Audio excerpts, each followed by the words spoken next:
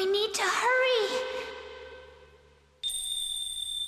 Please, please make it stop. Stop me.